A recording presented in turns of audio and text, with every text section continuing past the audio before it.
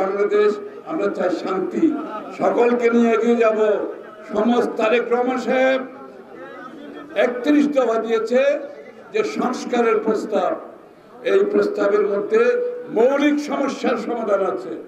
এই সংস্কারে আমাদের সাথে আমাদের যারা যুগপথ আন্দোলন আছে, সবাই ঐক্যমত পোষণ করেছেন তারেক রহমান সাহেব জাতীয় সরকারের মাধ্যমে এটার বাস্তবায়নের কথা বলেছে। এই কথাগুলো বুঝতে হবে। নতুন বাংলাদেশে, নতুন যে মনোজগৎ সৃষ্টি হয়েছে মানুষের, শেখ হাসিনা পালানোর পর বাংলাদেশের মানুষের যে নতুন, তাদের যে নতুন মনোজগৎ হয়েছে, এই মনোজগৎটা বুঝতে হবে। মানুষ কি চায় বুঝতে হবে। মানুষের প্রত্যাশা কি বুঝতে হবে? মানুষের আকাঙ্ক্ষা কি বুঝতে হবে?